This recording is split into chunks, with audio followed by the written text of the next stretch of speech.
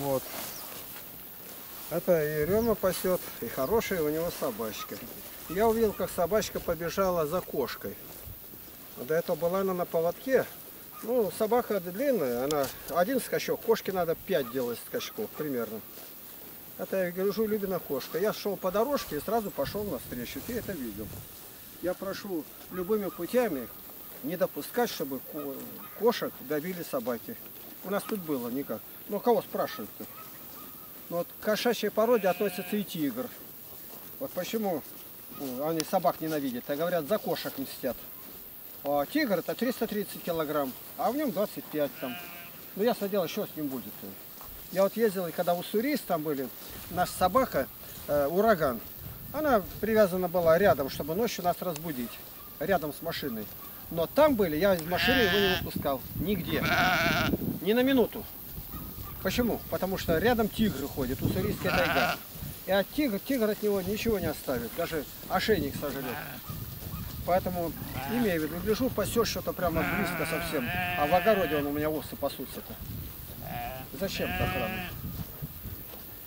Зачем, почему дальше, ты не погнал? Отличить нечего. Вот понимаешь, нет? надо подальше Ерема догонять.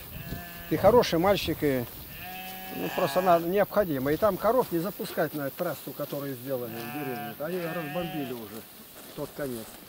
Идет двое, там тебя кто-то встречает, чтобы вышел, пригородил. Перегораживать мы не можем, потому что люди едут и ну, тут же сразу. Хорошее пастбище, ты сохрани это пастбище на время дождя. Вот дождь вас гонит, вот тогда да, тогда тут рядом. Чтобы они на гречку не пришли. А Лобаев что, ему заложено это. Гонять кошек, а? Рот-то разинул. На поводке все время держи. И только далеко угонишь где-то, там можешь его пустить. Он часто бегает по деревне, гляжу, не привязанный. У нас это по уставу не положено. Сегодня батюшка говорил, что больше пяти километров на машине, на тракторе не ездили по деревне. Пять километров, знаешь? Как вчера гляжу, этот Веня гонит 50, наверное, с лишним. Уже загнал машину, и в это время машину-то загнал. Пыль клубится все еще по деревне. А мне подошли и сказали, до этого еще, какое у нас правило, почему нарушают? Потому нарушаешь, что не Ну, еще хотел. Еще. Так вот, если на дороге ты нарушишь правила, тебя там штрафанут очень крепко.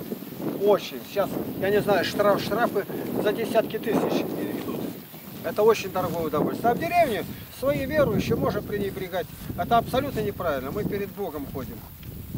Перед Богом. Скотину не пускать. Собака это скотина. Чтобы беспривязно не бегала никогда.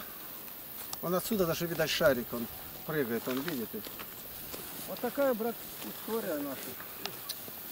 В деревне тут хорошо подошел, побеседовал.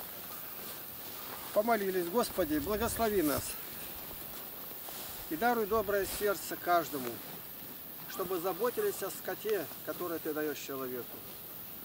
Умудри нас во спасение, слушать голос совести.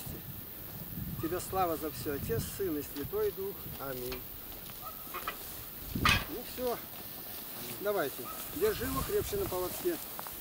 Вон они побежали. где. Он ее держал на поводке, а кошка выскочила, он побежал за ней, а потом взял и спустил. Ну на что, она ее сразу же, кошку-то замяла. Но она вырвалась и на столб затащила вон туда. Я уж не стал и говорить. Я уже ему это сказал.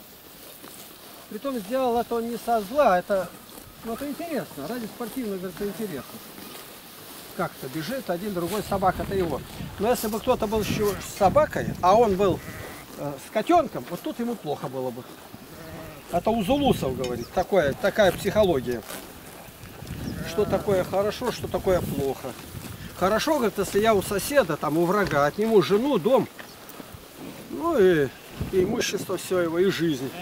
А плохо, а плохо, когда он у меня отнимет? Жену, дом, имущество и мою жизнь. Так мы меряем по отношению к себе, это неправильно. Все, поехали.